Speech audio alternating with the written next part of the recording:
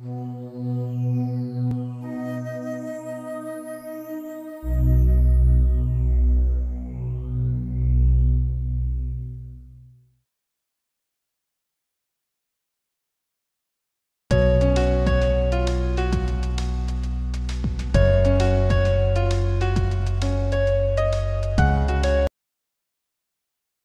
loved you.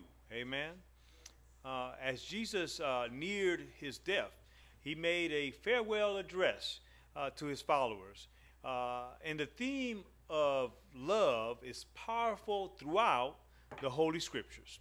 And in this sermon titled Other Centered Love, amen, it is so. Uh, so when Jesus knew that his hour had come, uh, the gospel writer says, having loved his own who were in the world, he loved them to the end. Amen? And that's in verse 13, which uh, we read. If you love me, you will keep my commandments. 14, 15. Amen? And we and now, as the Father has loved me, so I have loved you. 15, 9. Amen? Uh, the meaning of abiding. Amen? Uh, these words about love help us to understand the meaning of Jesus' command to abide in Him. Uh, to understand uh, ourselves as living our lives within His own reality, as part of Him in the body of Christ, as sheep of His flock, amen, as branches of the vine that bears rich fruit for a world hungry for love. Uh, you know, I spoke on last week on the fifth Easter Sunday about the vine and how he prunes and chops away and and what he needs to do for those that are not connected, that we need to remain connected to the vine. Uh, these words of love help us to understand what love really is, amen, and what it means to make our homes and, and how to abide in Jesus. Uh, John's gospel tells us that we are known uh, and cared for, as sheep are loved and cared for by the shepherd, who even lays down his own life for the flock, rather than running away as a hired hand. Amen?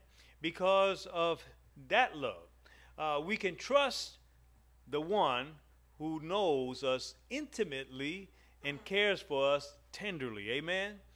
uh, who holds our very lives in that care. We are known and held and loved, but we are commanded too to belong to one another, uh, to care for one another, and to love one another. Uh, man, I, may I add also that it, it, says to pray for one another. Amen. Uh, the, the scripture tells us to pray even for our enemies. Amen. Uh, this is the kind of obedience, not blind obedience, but trusting obedience that Jesus inspires us and models for us. Amen. For he has lived his own life in trusting obedience to God the Father. Amen. This kind of love and trust is where we live our lives and live out our faith. In him we move and live and have our being. Amen. These laws aren't harsh or burdensome. The word commandment isn't legalistic, uh, doesn't refer to a harsh code of burdensome laws. John's gospel doesn't even focus on the commandment of the law um, as the other gospels do. Amen? John's theme is love. And to obey is to love. This command is not the but in I love you, but, uh, but rather it is the and, in. I love you and I want you to love one another. Or maybe it's even better to put the word so. Uh, I have loved you, so you must love one another. Amen? This unselfish love that binds us together in a community just as it binds it on our relationship with Him. With who? With Jesus. He tells us is, is the path of true joy. The kind of joy that we can abide in. Amen. Oh, glory to God. Love to sustain a community. Amen. It, it isn't just for us, it's, it's not just for ourselves, but it is a community. It is a other centered love, belonging to something greater than yourself. Love was crucial in the strengthening of little communities that John was addressing. just as the disciples uh, um, were about to experience their world imploding as uh, Jesus faced death and those disciples ran for cover. Amen. So the Johannine, and, and the Johannine, if, if you know, never heard that impression, it, it, it's talking about the Christians that came after John. Amen. Uh, in that Johannine community, a generation or two later, were facing all the sorts of persecution and ostracism because of their faith. Um, and really no different than many of us do today in many parts of the world. Even right here in the USA, where liberalism has become almost an enemy of what we stand for. Amen. They uh, uh, uh, they might have been tempted to turn inward, loving God, of course, and or one another, and concentrating on their pure and only survival.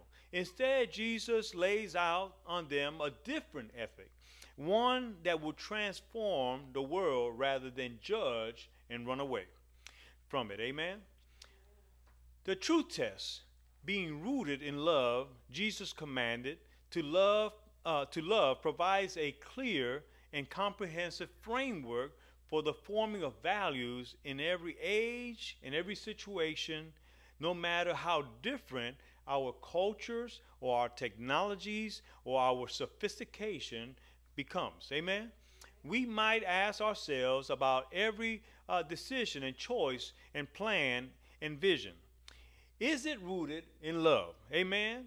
Does it bear fruit for the kingdom of God?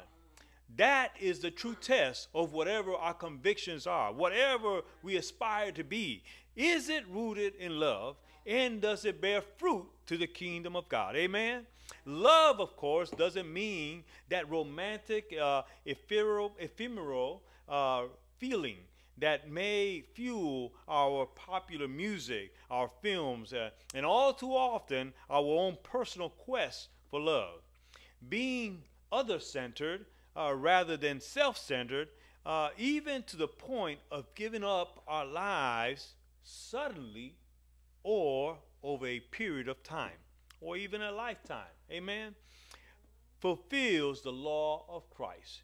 That's how I see my love for my wife. I do not see it as me uh, giving it up right away, although that may possibly be a time when I have to do that. But it is a, the dying of self for her. It is the love that I have for my wife on a daily basis that I lay my life for that love.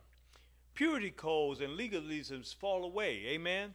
How well we know the challenge of being other centered in our culture with mobility, with career pressure, with distractions, and overload calendars. It's different even to make room. It is very difficult to uh, even make room for, for a friendship nowadays in a fast life that we live. Amen. We don't even stay around long enough to get to know one another, uh, let alone care for one another. Amen. And yet, this gospel keeps talking about staying, about abiding, about making our home in God, in the body of Christ how different that is from this day and age where we are living a microwave age, amen, an instant age, amen.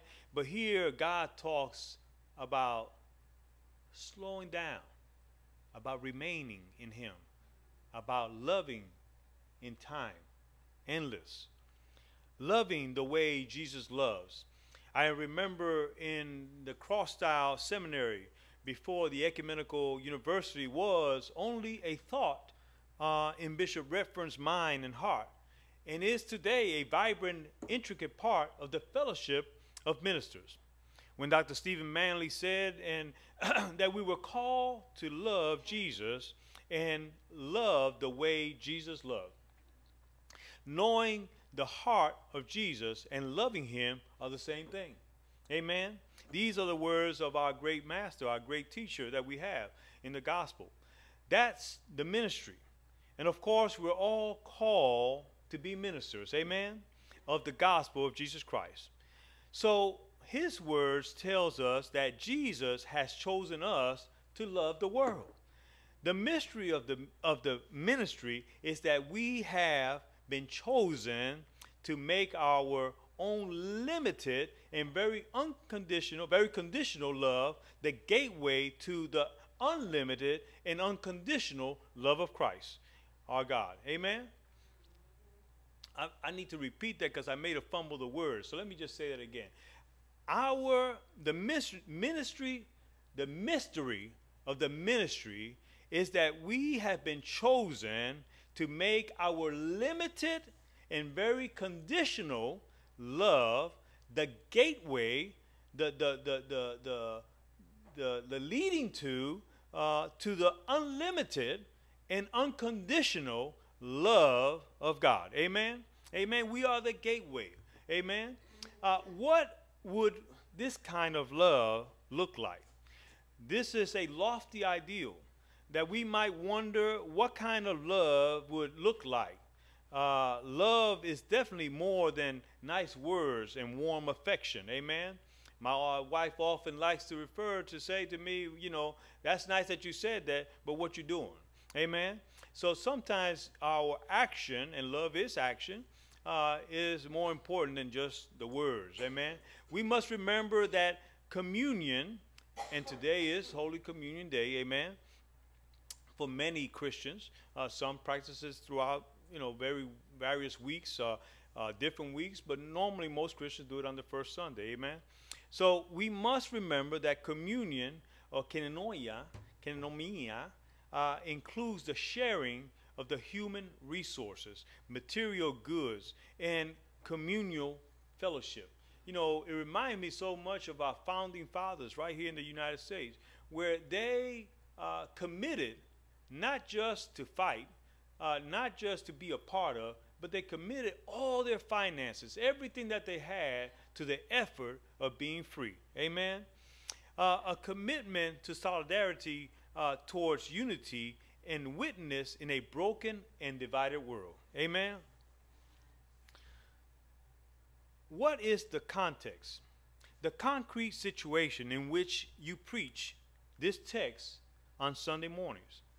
I challenge preachers, amen, you preachers, amen, uh, who are listening on, on YouTube or Facebook or in this social medias that, that this is uh, playing on, uh, and the churches uh, to live out this text by strengthening communities of solidarity, uh, by affirming diversity, by promoting healthy relationship in families and communities, embracing strangers, and promoting intercultural and interreligious dialogues. Amen.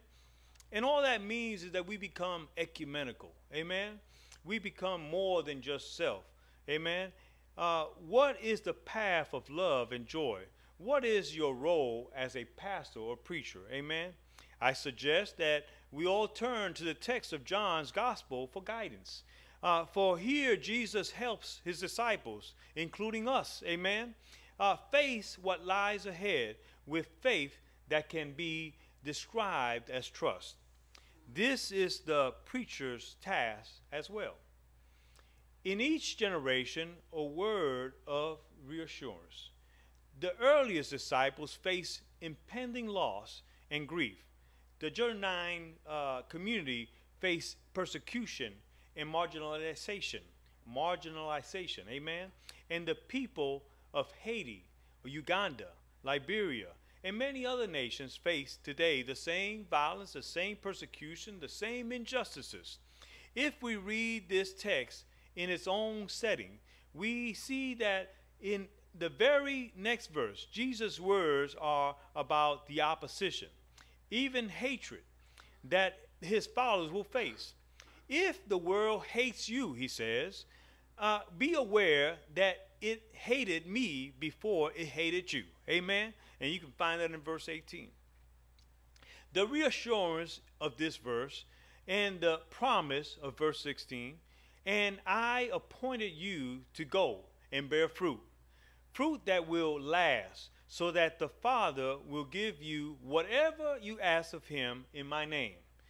Let me emphasize the importance uh, of reading this week's passage along with uh, the verses that are surrounding it in verse 16, taken out of the context of Jesus' discourse on the true vine. Amen? And understood solely in terms of God rewarding a, discip- a disciplined prayer life by fulfilling specific requests has wreaked all sorts of spiritual havoc amongst our in the throughout the centuries amen jesus is teaching us that we need to know about prayer not as a list what we need to know about prayer not as a list of requests for what we think that we need but at, for the power of love for the world even though the world responds to us uh, our love with hatred. Amen?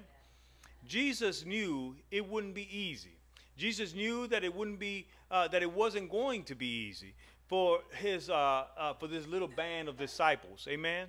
And, or for the church that followed them. Amen? The martyrs. Amen? Before us. Amen? Uh, for each one of us struggling to live out our faith in the face of everything uh, that challenges challenges it, uh, in this farewell address, he reassures us that we face uh, these things not as servants, but as friends, uh, as the one in his circle who have uh, been let in on the big picture, so to speak. Amen. Uh, to reign uh, uh, the reign of God and given our role in the bringing it in. Amen.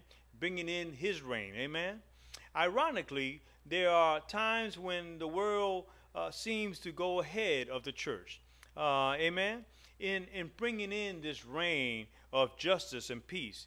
Uh, if you think about uh, women's rights, or even the example that we have nowadays, uh, the growing LGBT community and its rights, the church is often far behind uh, in the wider society is recognizing uh, the full humanity and considerable gifts and rights of all people, regardless of who they are. Amen. We tend to lag behind and be judgmental or be uh, uh, self righteous in front of them. Amen.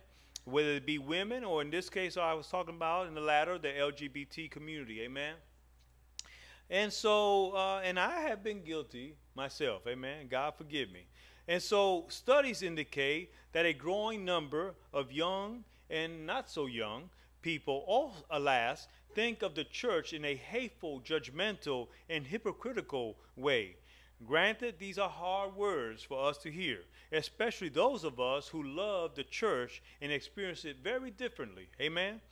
Uh, spiritual, but not religious. It is also not surprising that there's a growing number of people that claim uh, that don't claim any religion affiliation at all, uh, even though they think of themselves as spiritual. Amen.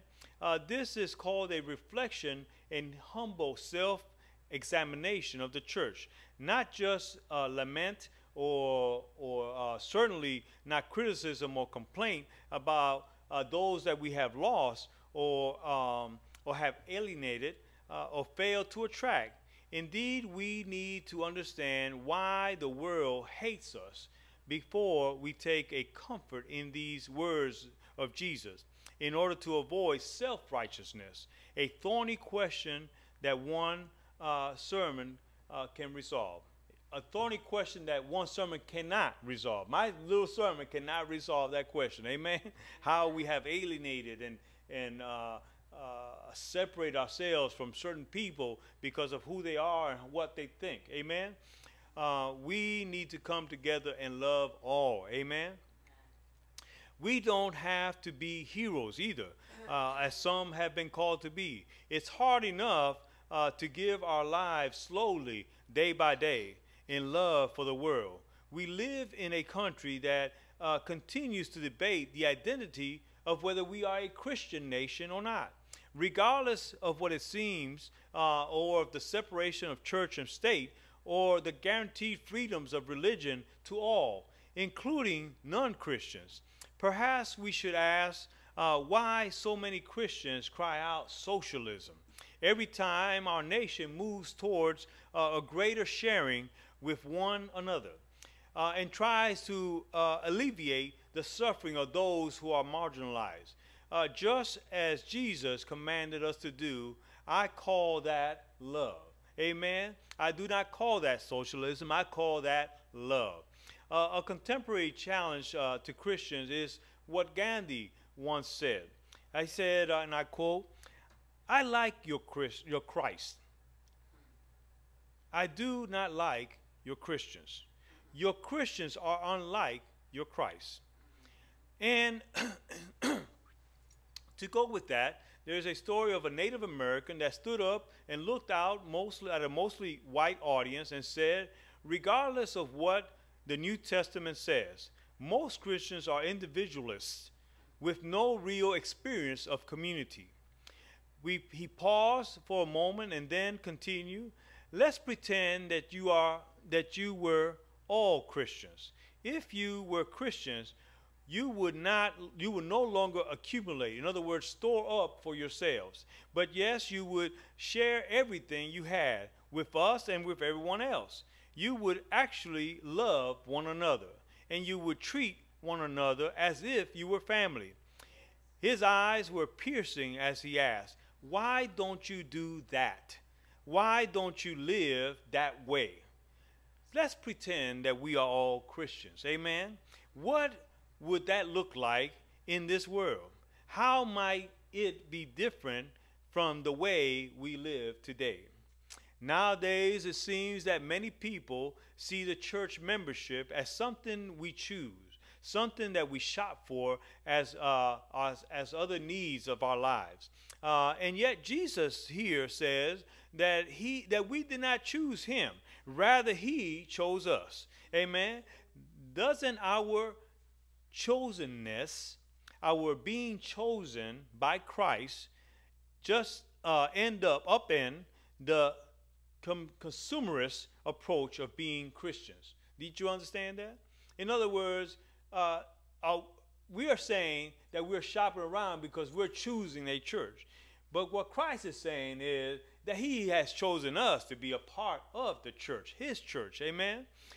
So rather than expecting a church to fill our needs, uh, are, we, are we called instead to seek to fill the needs of others in, uh, in our doing? Amen? So find our own deepest needs are met. Amen? That's how they're met by finding ourselves doing for others. Amen? How does being a member of a church afford us the possibility of both space and time for friendship, for caring for one another? Amen. Is the church a safe space where you can uh, be known and cared for or cared about? Uh, have you ever experienced another person or um, or community of being for you? Amen. Instead of for them. Amen. Well, I pray that this sermon answers those prayers, that we are more than just self, that we are to be a community of love, that we are to love one another as Christ loved us and as he loved the Father, that we are to obey his commandments as he obeyed his commandments, that we are to do the things that God has commanded us to do, not because it's an obligation, not because it's a law, but it's because it is love. And that because he loved us, we love him and we love him so much that we obey him. Amen. That is the true calling that we are called into ministry to be and to do. Amen. May God add a blessing to this particular word in your heart. Amen. Today. May it be rooted in you that you may love one another as he loves us. Amen. Amen. Amen. And with that, we ask that that you, because you have heard this in his word, that you seek God, that you seek a church that is a, a God loving church, a word of truth uh, uh, uh, studying church, a praying church that loves God, and because they love God, they love you. Amen. find that church and join that church. And if not, you can always come right here to First Ecumenical Church of Christ, of Jesus Christ, right here at the little chapel at 1026 Pope Street, and join us for our service every Sunday uh, at 5 o'clock. There are many other churches right here at this particular chapel, from 8 o'clock in the morning all the way to 6 o'clock in the evening. Every hour we have something going on and a different pastor preaching right here. Amen? So you are welcome. You are welcome. And if you have not come to the knowledge of Christ, let me admonish you right now. Let me uh, uh, uh, not admonish you, but actually beg you to come to Him, that you may call out and, and say, I am a sinner.